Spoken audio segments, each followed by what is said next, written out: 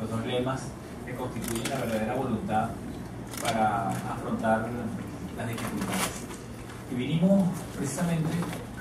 con la convicción de que poniendo en perspectiva las distintas dificultades que están asediando la industria editorial a nivel planetario y que a nivel regional pudiéramos entenderlo con mucha más propiedad, la distribución del libro, la impresión del libro, el acceso a los derechos de autor, eh, todo lo que corresponde a la crisis especulativa que hace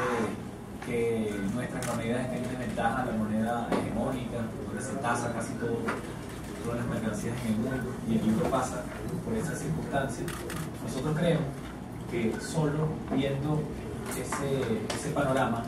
en conjunto, desde distintas perspectivas, podemos encontrar soluciones innovadoras que van a tener que serlo necesariamente y vamos a poder construir una verdadera red eh, en torno al libro que pueda eh, conseguir soluciones en, los plazos inmediatos, en los plazos medianos y a largo plazo. Nos queremos proponer una, una, una carrera de tres años mínima para ir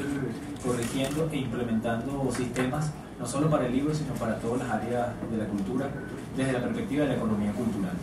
desde la perspectiva de conseguir las eh, fortalezas que están planteadas en cada uno de los representantes del sector libro, en lo privado, en lo público, desde la impresión, desde la escritura, los derechos de autor y la distribución, para poder verdaderamente dar un salto a lo que nosotros queremos, una independencia, una soberanía eh, como país desde el punto de vista editorial. Desde que se creó la imprenta de la cultura y desde que el Ministerio del Poder Popular para la Cultura comenzó a incurrir de manera muy eh, masiva en la producción de libros y la circulación de, libros, siempre hubo una preocupación del sector privado. Una preocupación que hasta ese momento podíamos decir que era, que era legítima. Era si el Estado como editor no iba a terminar desplazando a las pequeñas editoriales, que no las alternativas, las editoriales este, privadas, independientes, e incluso las editoriales grandes.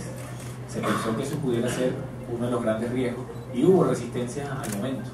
En un comienzo hubo debates, diatribas, si esto era o no era conveniente para el sector libre.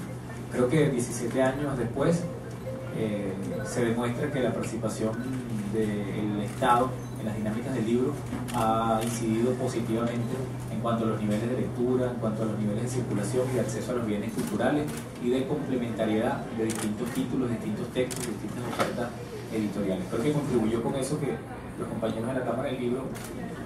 gustan llamar la bibliodiversidad. Se creó unas editoriales que empezaron a publicar autores nacionales, latinoamericanos y otro tipo de literatura que no circula en dentro de los catálogos más comerciales y que incluso era de difícil acceso para editoriales de autor que no estaban trayendo eh, este tipo de literatura más inclinada hacia lo histórico, a las ciencias sociales. Ese impacto ha sido positivo y yo creo que hay que reconocerlo.